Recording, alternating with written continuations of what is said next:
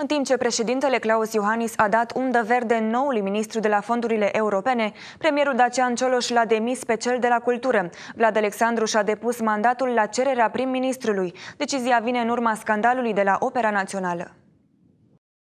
Proasta gestionare a scandalului de la operă l-a costat funcția pe ministrul Vlad Alexandrescu. Decizia vine la trei săptămâni după izbucnirea scandalului care a dus la demisia celor mai cunoscuți balerini ai operei. La începutul acestei săptămâni, Ion Caramitru, președintele Uniunii Teatrale din România, i-a cerut premierului să îl demită pentru proasta gestionare a conflictului, precum și pentru încălcările legii managementului instituțiilor publice de cultură. Vlad Alexandrescu este al treilea ministru tehnocrat care își depune demisia. Premierul Dacian Bogdan Cioloș a anunțat că după sărbătorile pascale va analiza activitatea guvernului actual de la instalarea în funcție și până acum.